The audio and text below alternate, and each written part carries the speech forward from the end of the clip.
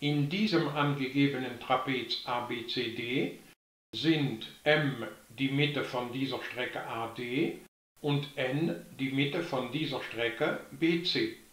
Der Auftrag lautet, beweise vektoriell, dass dieser Vektor Mn genau die Hälfte von der Summe der zwei Vektoren AB und DC ist.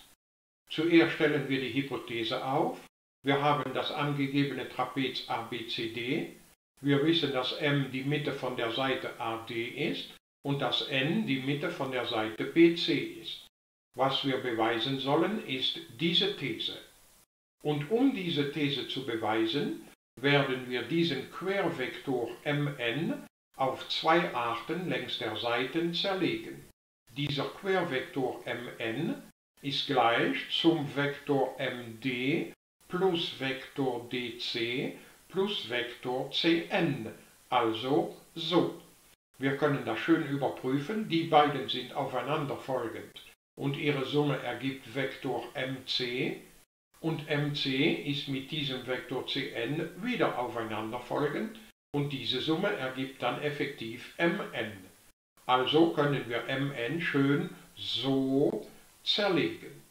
Wir können den Vektor mn aber auch so zerlegen, Vektor ma plus Vektor ab plus Vektor bn, also so.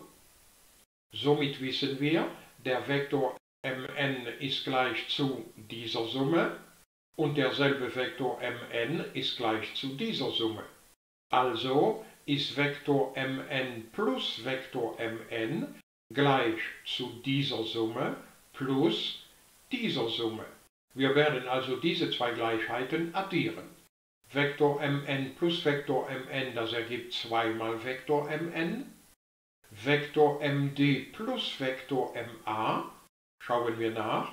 Vektor md plus Vektor ma, das ergibt den Nullvektor, weil m ja die Mitte von dieser Seite AD ist. Und dann haben wir hier Vektor dc plus Vektor ab und hinten noch Vektor cn plus Vektor bn.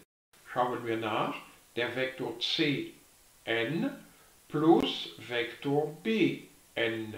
Diese vektorielle Summe ergibt ebenfalls den Nullvektor, weil n ja die Mitte von dieser Seite BC ist. Also, wenn wir diese zwei Gleichheiten addieren, dann bleibt übrig 2 mal mn gleich dc plus ab. Wir teilen dann noch durch diese 2 und finden somit, dass mn die Hälfte von ab plus dc ist. Das ist genau das, was zu beweisen war. Also ist dieser Auftrag schon erledigt.